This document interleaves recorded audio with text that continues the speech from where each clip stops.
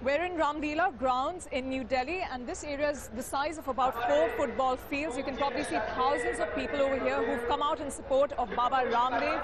He's India's best known yoga guru who's also on an indefinite hunger strike to pressure the government to bring back illegal money stored by Indians in foreign banks. A lot of people are still clamoring to get inside this area.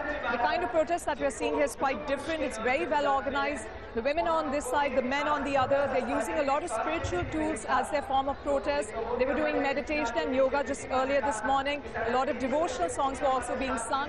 People here say that they are fed up with news of corruption that they're confronted with almost every other day and that they're ready to support their guru until the very end. Until we get rid of corruption in our society, we won't have peace in this country. That's why we're supporting him in this cause.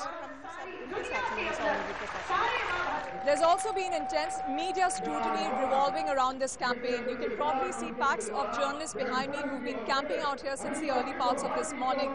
A lot of questions have been raised about Baba Ramdev's political motivations. He's never hidden the fact that he wants to join active politics, so some say that this campaign is his platform. Others, like his followers, say that they need a public figure like him to talk against corruption, something which this country has seen so much of in the last few months. But despite the show of support for Guru Ramdev's anti-corruption drive, many people are suspicious of his finances. Lawyer Nandita Rao had this to say from New Delhi. Citizens like me uh, and other citizens who supported the anti-corruption movement are very uh, sort of worried about uh, forces like Baba Ramdev because one, he in the last six years has amassed a huge amount of 1100 uh, crores, what you say uh, 40 million, and there is no accountability of where he has got this money from.